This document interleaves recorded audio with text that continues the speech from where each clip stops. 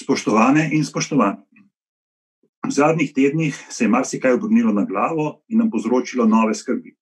K sreči se bomo očitno lahko izognili scenariju pomankanja hrane in strateško pomembnih živil zaradi epidemije koronavirusa, tako v Evropi, kot tudi pri nas. Bomo pa, upam, kljub temu potegnili neko lekcijo o pomenu varne, zdrave in kakovostne hrane, pridelane v našem lokalnem okolju in seveda na trajnosten način. Naj bo to kratek uvod v današnji pogovor z Ninom Erjavcem, študentom ekonomije, mladim podjetnikom ter enim izmed soustvarjalcev portala Kupi lokalno si. Nino, lepo pozdravljen in hvala, da si se mi danes pridružil. Dober dan tudi vam in hvala seveda za povabilo, da predstavimo ta naš projekt širši skupnosti in da tudi drugi začnejo podpirati lokalno hrano oziroma da vidijo, da dejansko v naši okolici obstajajo kmetije, ki ponujajo res vrhunske izdelke, pa jih mogoče prej nismo poznali. Okej. Uh, zdaj, seveda, najprej vprašam običajno vse sogovornike v, tem, v teh pogovorih od doma do doma, uh, kako se je spremenilo njihovo življenje od začetka epidemije, ampak ti si to zelo kreativno pravzaprav zastavil. Uh, Za družbeno koristen namen. Torej, odkot torej ta ideja za spletno tržnico?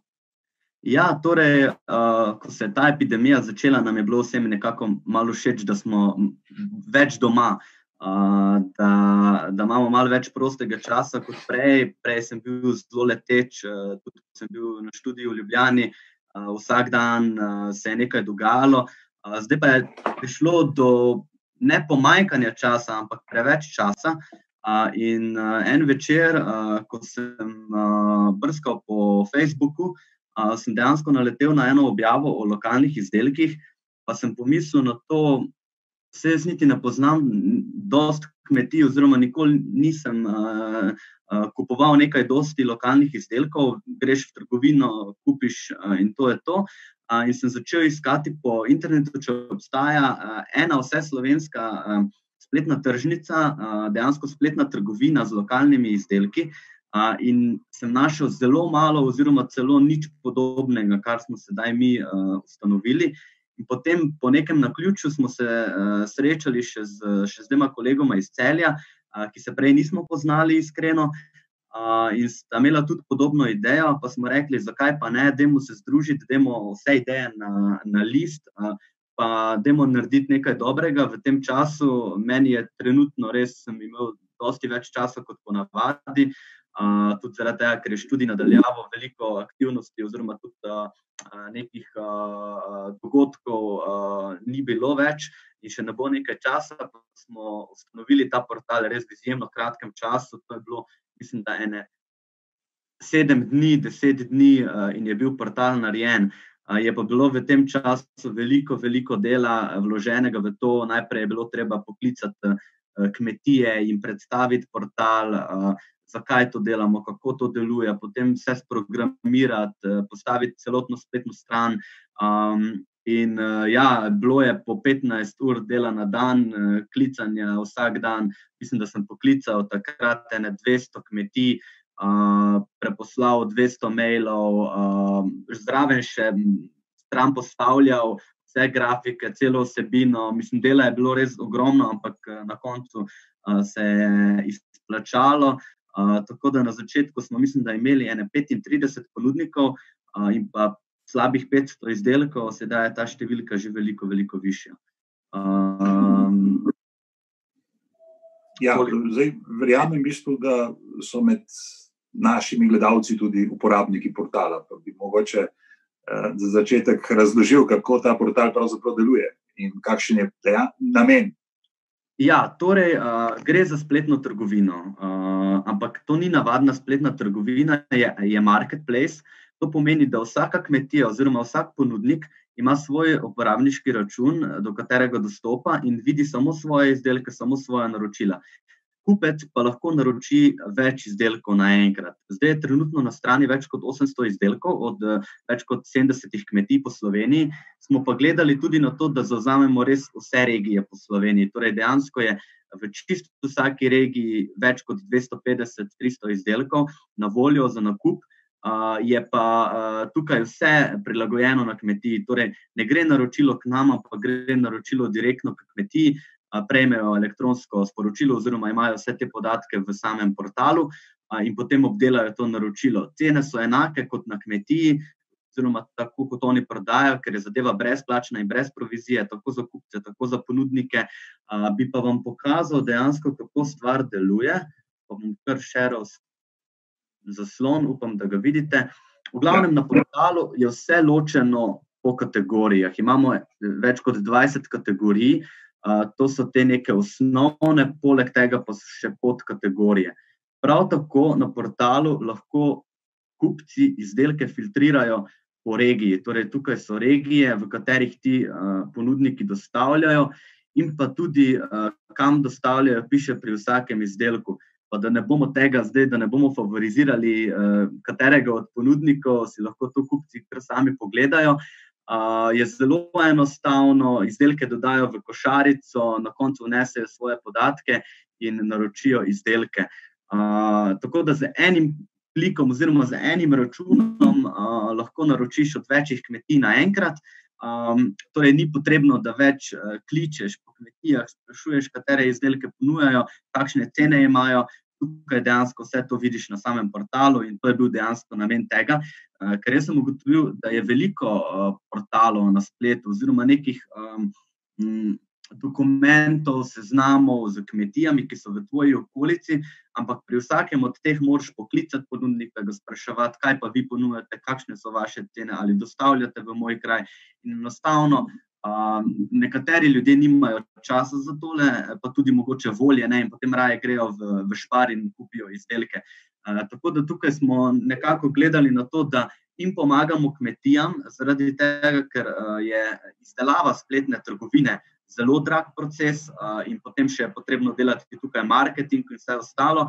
Uh, prav, tako pa, um, prav tako pa morajo potem kupci te kmetije najti.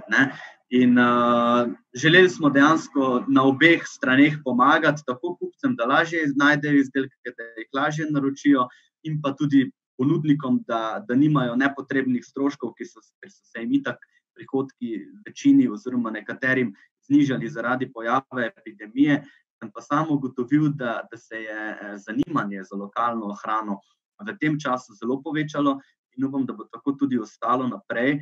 Uh, čeprav so se tržnice odprle uh, nazaj, verjamem, da bo še veliko kupcev ostalo, tega, ker uh, ljudje so zjutraj v službi, nimajo mogoče časa iti na tržnico, popoldne pa lokalnih izdelkov ne morejo dobiti. Tako da tukaj smo nekako združili ti dve uh, strani in to je dejansko namen tega portala. Čim hitreje, čim lažje priti do lokalnih izdelkov in jih tudi naročiti. Mhm. Koliko nakupov pa je bilo uh, do zdaj upravljeno prek portala, oziroma uh, da, da tako vprašam, je to popraševanje enakomerno po celi Sloveniji, oziroma ali se tudi kakšen izdelek prav posebej uh, pojavlja, kot uh, da je večje popraševanje po njem? Ja, zdaj trenutno uh, bom tako rekel, trenutno so najbolj iskane jagode. Uh, jagode so res iskane in teh naročil je vsak dan ogromno. Uh, tudi tukaj uh, smo želeli, mi, mi ponujamo ponudniku čim več pomoči. Torej, če rabijo kakršno koli pomoč od nas, uh, mi z veseljem priskočimo. Ne moramo seveda iti obirati jagod ali pa nive okopavati, ampak pomagamo pa z samo organizacijo naročili in tako tudi tem kmetijam, ki trenutno dobivajo več naročil. Če je tega res dosti, jim te vsa naročila združimo v en dokument, da, imajo, da, da vse dobijo na, na enem listu, no, vsa ta naročila. Tako da jagode so res zdaj nek hit, bi lahko temu rekli, prav tako špargli. Nasploh sadje in zelenjava sta trenutno najbolj iskana, Um, je pa lepo, da eh, kljub temu, da nekateri naročijo uh, samo mogoče en izdelek, še potem pogledajo tudi od drugih ponudnikov in uh, naročijo tudi uh, mlečne izdelke, uh, testenine, uh, med. Uh, Kakorkoli že izbire, je res ogromno, in uh, mi si želimo res zauzeti vsako regijo, vsako občino, uh, in vsako kategorijo, da res pokrijemo celotno Slovenijo, kar nam kar dobro uspeva. Tudi uh, zelo nam je všeč odziv ponudnikov, ker se sami prijavljajo uh, zraven, mi še vedno vabimo vse ponudnike, da se nam pridružijo. uh, je pa tudi odziv kupcev kar fajn.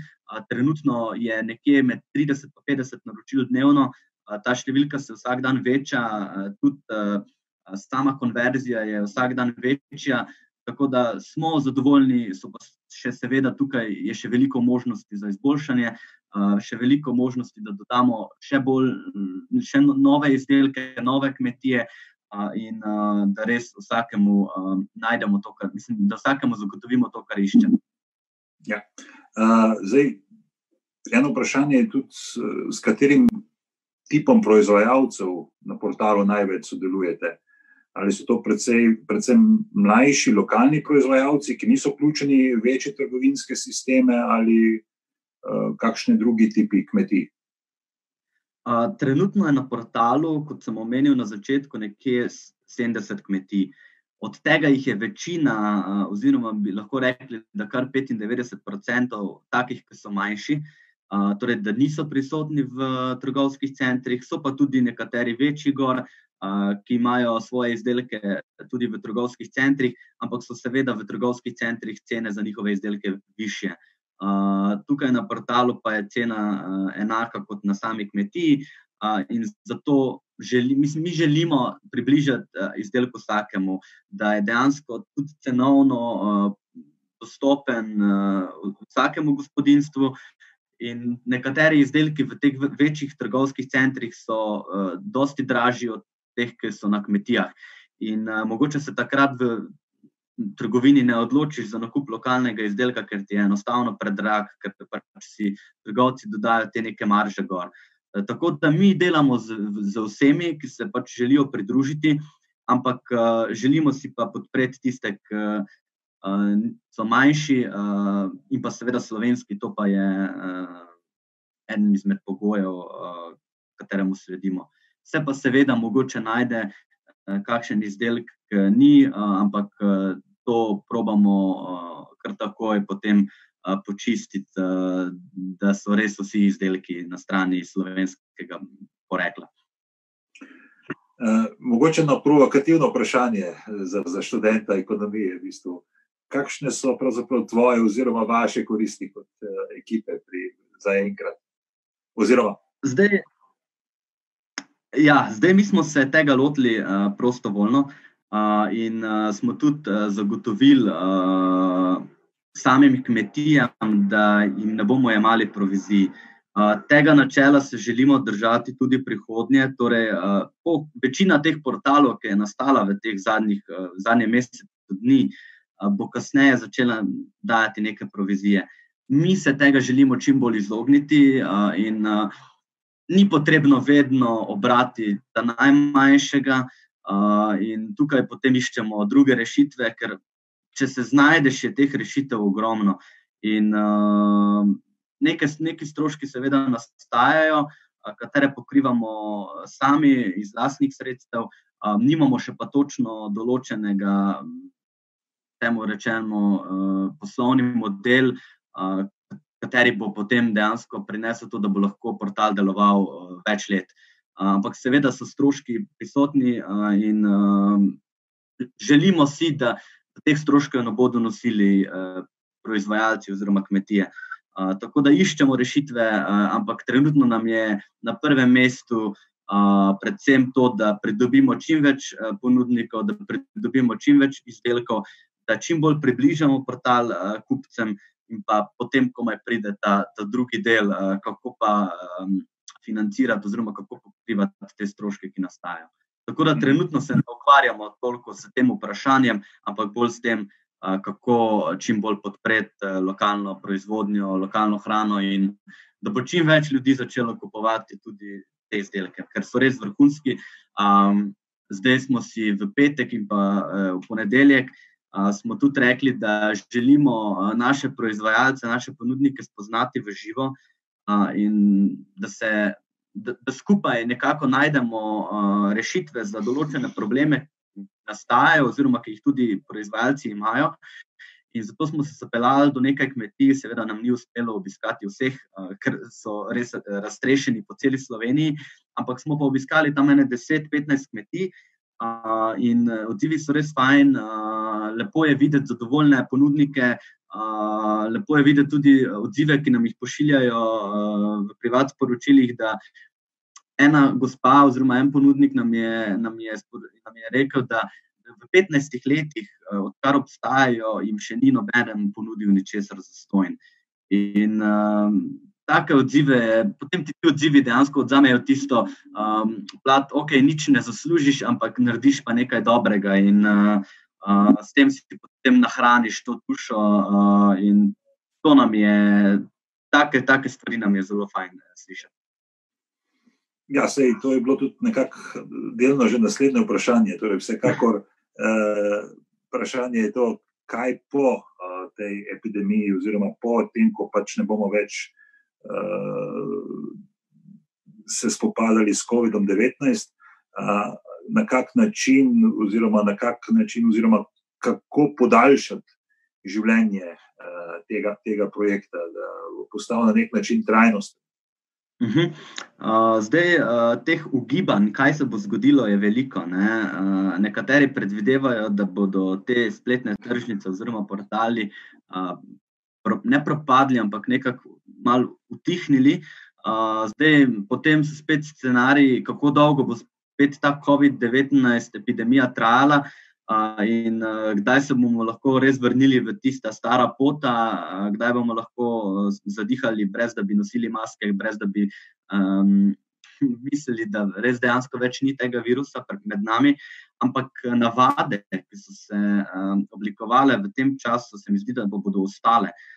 Ker nekako smo si vsi uh, spremenili način življenja, zdaj v tem enem mesecu, mesecu pa pol, uh, ko smo bili doma, veliko ljudi se je navadilo spletnega nakupovanja, tudi starejših. Uh, veliko ljudi je uh, našlo neke druge vrednote in to bo sigurno ostalo med nami. Tako da tako kot sem prej omenil, tržnice so nazaj odprte, ampak enostavno vsi ljudje nimajo časa zjutraj ob 8. hit na tržnico, ker so v službi. In naš portal pa je odprt cel dan, vse 24 ur in izdelke lahko naročiš kadarkoli. Tako da um, mislim, da ne bo. Da ne bo Mi, mi želimo, seveda, da, da bo portal čim več let uh, ostal uh, in pa ga tudi uh, nadgraditi tudi sproti ga zelo nadgrajujemo, iščemo rešitve, iščemo načine, kako še bolj uh, približati portal ljudem in pa ponudnikom. Uh, dejansko si nismo, nismo šli v to, zato, da bi ta projekt bil aktiven tri mesece ali pa pol leta, ampak gledamo zelo dolgoročno, ker enostavno je ta projekt tako velik zalogaj, da, da se ti ga za en mesec pol ne, sploh ne splača uh, odpirati, pa ne v smislu denarja, ampak v smislu časa. Um, jaz sem v ta projekt vložil že več kot tisoč ur in uh, čas je dejansko tista najbolj vredna uh, stvar uh, na svetu, in ne želim ga kar tako vrčiti uh, čez en mesec, pa več uh, COVID-a ne bo pri nas. Tako da uh, mi gledamo zelo dolgoročno in tudi. Um, način, kaj želimo nadgrajevati, kako želimo nadgrajevati, ni postavljen v roku enega meseca, ampak je dejansko res dolgoročen projekt. Tako da mislim, da bo to ostalo med nami in da bo tega če dalje več, ne manj. Uh, mogoče bodo nekateri, ki so kupovali preko tega portala, šli na tržnico, uh, toliko bolje dejansko, ker uh, ni samo pomembno, da preko portala oziroma preko spleta naročijo izdelke, ampak da s temi izdelki živijo in da dejansko raje kot grejo na, na večji supermarket, najraje grejo na portal ali pa tudi na tržnico ali pa tudi na kmetijo. Dejansko je vse to nam zadovoljivo, oziroma vsega tega smo veseli. Tako da bo ostalo, sigurno, ampak bomo videli čez nekaj mesecev, kaj se bo zgodilo. Je ja, tisto, kar si, kar si mi prej tudi povedal, je, da se ta trenutek ukvarjate zelo z uh, logistiko, ne? uh, kot enim večjih uh, problemov, v smislu tega, da je nekako zaenkrat pač proizvajalec tisti, ki dostavi, ne? seveda po pravilih znotraj epidemije, torej s čim manj kontakta in tako naprej. Ampak uh, ta del je pravzaprav eden najverjetneje težjih orehov kako ga pravzaprav stret, še zlasti, če pokriva celotno Slovenijo. Ne. tako je, to je problem, ki ga rešujemo sproti. To je dejansko problem vseh takih stvari, ker je enostavno toliko izdelkov, toliko različnih stvari, od svežih izdelkov, mleka, mlečnih izdelkov, mesa, sadja, zelenjave, tega ne moreš skladiščiti en mesec. To, je, to so kratki roki trajanja. In mi smo na začetku si postavili zadevo tako, da vsak ponudnik dostavlja, kamor pač dostavlja. Torej, mi smo vsakemu ponudniku nastavili območje dostave, ali je to na poštne številke, ali je to na neko regijo, ali je to celotna Slovenija. Eh, ampak um, to je res problem, ki ga rešujemo, ker enostavno nekateri, nekatere kmetije se projektu niso pridružili, zato ker uh, nimajo urejene dostave, oziroma nikakor ne morejo dostavljati, ker ali zaradi tega morajo enega, enega človeka iz Nive poslati v avto, da bo dostavljal oziroma jim ta dostava predstavlja prevelik strošek. In iščemo tudi na tem področju rešitve, kako dejansko približati oziroma ponuditi kupcem iz katerega koli kraja v Sloveniji, kateri koli izdelek. Torej, tudi nek mlečni izdelek, ki se dostavlja trenutno mogoče v treh, štirih občinah, da bo lahko na večjih razdaljah, ampak to je, to je še kar dosti dela, da bo vse to uh, poštimano, oziroma da, bo, da boš lahko dobil katerikoli lokalni izdelek v katero koli vas v Sloveniji. Tako da to nam je cilj, uh, ker s tem bomo dejansko in kupcem zmanjšali stroške dostave, in pa ponudnikom. Uh, Veliko, veliko dela, ker nekaterim za me dostave kar precejšen mhm. del v dnevu, In uh, tudi tukaj želimo pomagati, uh, da, bo, da bo čim lažje. Me pa zanima, v bistvu, da vse to, kar govorimo, je v bistvu dejansko sestavljeno nečesa pomembnega in to je prehranska samooskrba. Zanima me, želiš to tudi študirati znotraj ekonomske stroke. Pri nas se je znotraj tega zelo veliko ukvarjal agrarni ekonomist, dr. Reš Kuhar, mislim, da sem uh -huh. zelo dober intervju poved, prebral o njem. Um, in mislim, da bo ta koronavirus, oziroma vse to, kar se je zdaj zgodilo, v bistvu še nek dodatni pospešek temu področju dalo. Kako uh mhm. -huh. ti gledaš na to področje? To je sigurno res in uh, tega se zavedamo. Uh, iskreno, jaz bom iskren, uh, ne želim študirati agrarne ekonomije. Uh, me vseeno vlečejo druga področja, uh, v osnovi delujem v glasbenem svetu, uh, torej uh, sem tudi glasbenik po duši. In mi je zdaj ta korona, oziroma COVID-19, uh, vzel to mojo strast, uh, ker ni dogodkov in jih še ne bo kar en čas. Uh, tako da uh, ni agrarna ekonomija tisto, kar bi študiral, je pa sigurno ena izmed stvari, uh, ki sem ugotovil, mislim, ugotovil sem, da, da je veliko, veliko uh, opcij v tej smeri in veliko nadgraden. In da je Slovenija še mogoče kar dolga leta pred tujimi državami na tem področju. Uh, tudi, ker nekatere, tudi mi smo v stiku z nekaterimi mednarodnimi portali, ki se ukvarjajo s podobno zadevo in so že dlje časa aktivni, in so nam tudi potrdili, da gremo v pravo smer, da, da, so, da je naš portal uh, uh, tisto, kar dejansko ljudje iščejo, uh, ampak uh, je še veliko za postoriti, predvsem v tej digitalizaciji, uh, ker ugotovil sem, da več kot uh, 80% kmetij niti nima spletne predstavitve, nekateri niti nimajo um, socialnega omrežja. Zdaj, take kmetije, jaz kot mlad, uh, nadebuden študent, oziroma uh, nekdo, ki je večinoma časa prisoten uh, na, teh, na teh omrežjih, uh, težko najdem uh, te kmetije in zaradi tega je tukaj še res veliko za postoriti. Je pa predvsem tudi odvisno od tega, kar, kaj si sama kmetija, oziroma kaj si sam ponudnik želi, in uh, koliko je pripravljen vložiti dela v to, da bo povečal svojo prodajo ali da bo, da bo povečal svojo prepoznavnost, uh, da, bo, da si bo optimiziral svoj čas. Uh, koliko smo se pogovarjali s ponudniki, veliko še vedno uporablja beležke za naročila. Um, nekateri zelo redko objavljajo uh, na svojih profilih, in tukaj je tudi tista, tista eno območje, kjer mi želimo pomagati. Torej, nimaš uh, socialnega omrežja, ok, povej in ga bomo mi naredili za tebe. Ampak moraš pa povedati, ker ne, mi ne silimo nobenega, da nekaj naredi, ampak pač ponudimo pomoč, zdaj pa spremi ali zavrni. Uh, in uh, tukaj je še veliko za postoriti. Tako da ta, ta agrarni sektor, oziroma kmetijski sektor, je še pri nas um, mogoče malo zastarel, uh, pa ga bi še trebalo malo nadgraditi, da, bo, da, bo, da, da bomo lahko tekmovali tudi z drugimi državami. Smo pa, da, mislim, smo pa seveda v zadnjih letih te stvari zelo izboljšali. Tudi, um, Ministrstvo za kmetijstvo je par let nazaj že neko podobno zadevo uh, ustanovilo, oziroma portal kot neki mali oglasi kmetij. Uh, se trudijo tudi z različnimi projekti, da to lokalno, ekološko uh, spodbujajo, uh, ampak je, je še pa tukaj, sigurno, kaj za narediti, oziroma dodati. Da, opcije je veliko, zdaj pa treba samo najti tiste prave, pa čim bolj uh, um, te stvari izpeljati ne, v praksi.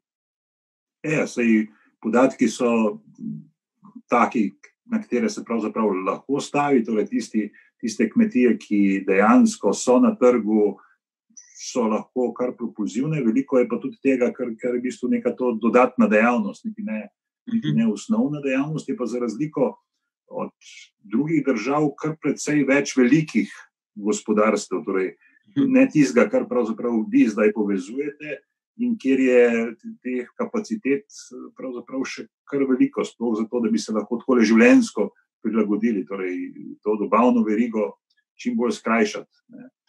Uh, tako, ja. tako. Uh, vse, vsekakor uh, mislim, da smo bolj ali manj izčrpali tole, kar imamo za, uh, za kar smo imeli, pravzaprav se pogovoriti. Uh, spoštovane in spoštovani, znam si predstavljati, da bomo potrebovali veliko novih in tako inovativnih pristopov, kot je ta, eh, da bomo ohranili delovna mesta v živilsko-predelovalni industriji, teh je zdaj skoraj 17 tisoč, in tudi razvijali nove možnosti za poslitev v tem sektorju, ki je tudi izjemnega pomena za slehernega prebivalca in prebivalko Slovenije. Nino, najlepša hvala za ta zanimiv pogovor. Veliko uspeha še naprej, tako pri študiju, kot tudi pri tvoji podjetniški poti. Hvala lepa za povabilo, pa vabljeni, da si pogledate portal, eh, da najdete izdelke za sebe in tudi podprete lokalne pridelovalce z nakupom. Ja, spoštovani in spoštovane, vabim vas, da se mi pridružite v novi epizodi od doma do doma prihodno sredo, 13. maja, ko se bom pogovarjal z gospod Lidijo Jerkič, državno svetnico in predsednico Zveze svobodnih sindikatov ter sindikata kovinske in, in elektroindustrije Slovenije.